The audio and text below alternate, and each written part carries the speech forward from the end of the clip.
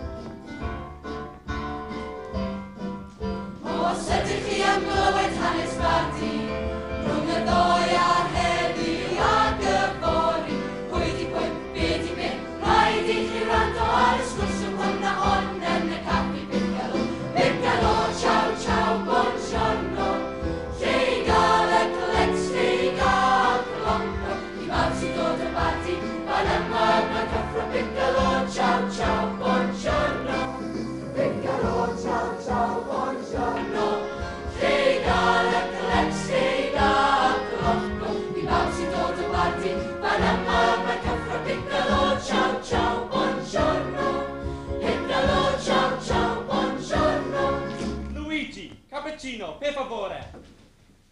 Ti'n gweld, Emilio? Mae bywyd fan hyn y mynyddoedd yr Emilia Romania yn reit galed i ti a fi. Daci brachu! Mae dad yn dweud bod na air pen drawr enfys. Mae fe eitha reit mach gen i.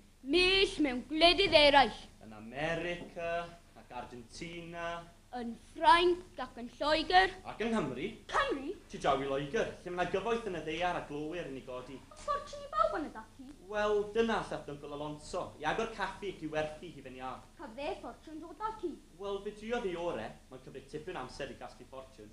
Dyna lle rwy i eisiau mynd brwyddwn o dati i Gymru, i ennill ffortiwn. Thank.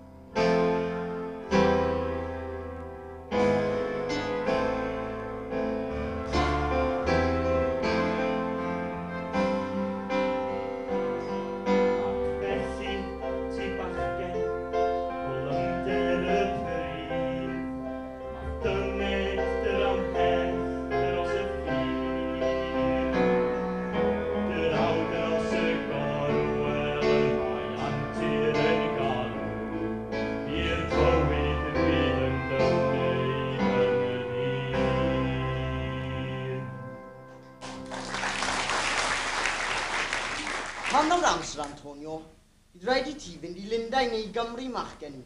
Aeth dadau America yn dod y ci? Do, ac fe feddai tôl hefyd. Pa hente? Am nad ei gael ei drin yn iawn gan ei feistyd. Ond fi wnaeth ei arian yn dod y ci? Do, dwi'n ffeindio fe hynny, do. Ond mae rhaid i fi'n cael pleser wrth ei waith. Ac yng Nghymru a Llundain mae yna bleser. Cawn weld, o leia, dy geidi dy drin yn iawn. Mae parchu'r eidalwyr fan hynny. Sut fuodd hi arnoch chi, Ddici? O, fe ges i amser da yn Llundain am sbel. Ac yna, fe ges i len y Rhonda. Y Rhonda? Yng Nghymru. Yn gwerthu hi fe'n ia. Yn chwarae'r organ chwyth rhwng y strydoedd i gychwyn. Wel, rwy'n gobeithio gweithio mewn caffi yn gwerthu hi fe'n ia. Comwel, mae'r padronau'n dod i cwrdd â rhieni'r ardal yma heddiw. Rwy'n gwybod, mae mam a dad wedi mynd law i sgwar bardi i wrando arno.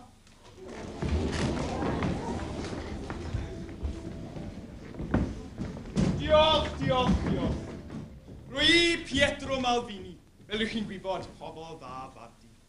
Wedi bod yn padronydd teg i fechgyn yr ardal hon. Rwy'n un ohonych chi, ac rwy'n deall yn iawn yr awyr sydd yno, i weld eich meibion a derbyn y driniaeth gore. Fel ych chi'n gwybod, gan fod y diwydiant glo ar gynnydd yn dde Cymru, rwy wedi cael nifer o gynigion gan bechnogion parchus. Rhaid i chi'n abod yn dda, y ffilgonis a'r contis yn gymdogion i chi gynt. Mae tylera un peth ag arfer. Contract sefydlog gyda bwyd dechrau ac eti. A free stock yn dychwelyd eidol ar ôl dwy neu dair mlynedd. Os na unrhyw cwestiwn? Marco Rabaiotti. Ad fy machgen Antonio yn cael dewis ei waith? Y dewis cyntaf i chi oedd y weithio. Gyda gweddill yn wylo pechen o gyrchaffi. Maria Brachu, bydd cyfle i mab yn milio sy'n fodlon gweithio'n galed. Gan eisiau siop i chi? Bydd, ond iddo sticio ati. Rydyn ni wedi clywed o fechgyn sydd wedi dychwelyd o bardi yn anhapus iawn dim rhyw lawer liwys o'r afeogi. Ac yn awr bydd yn weld y fechgyn sydd yn weddys i fynd, peth cyntaf bore bori, ger yr eglwys ar y piazza Vittoria yma. Mae Artilio ac Antonio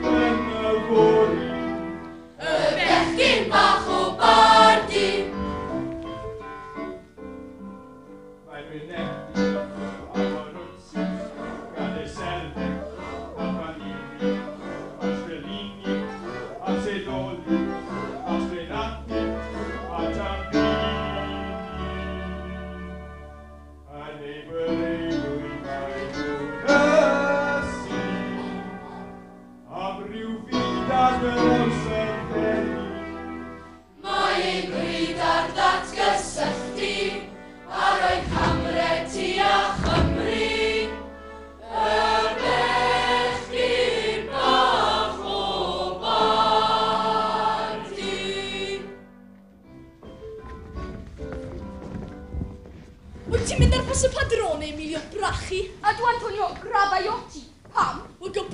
ti'n gweithio ymhell oddi wrth i fi.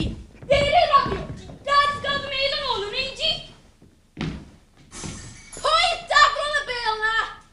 Ti daflodd y bel drwy ffenest Victoria Rossi. Ti, na fi ti ti oedd y rabioti, y celwyddgi, mi roi gosfau ti am ynghyddo i y brachu. Mi weles i ti ap ei dyngu fy mrodyr hefyd. Rych chi'n waith o'r maffia. Fi gaeth holl bentre bardi fod o ti'n gelwyddgi. Fe afiat y tad, Pietro Perucci. lo particulier. Tanto se oh, può... Oh, oh,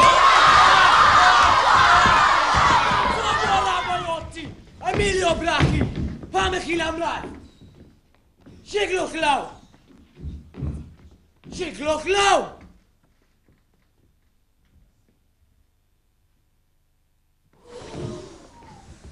Deug, deug, deug. Pronto, pronto, Hier Hita de eu kat waar mij rau. wil ik family kung gablim. Kasi maap sinu ko aki.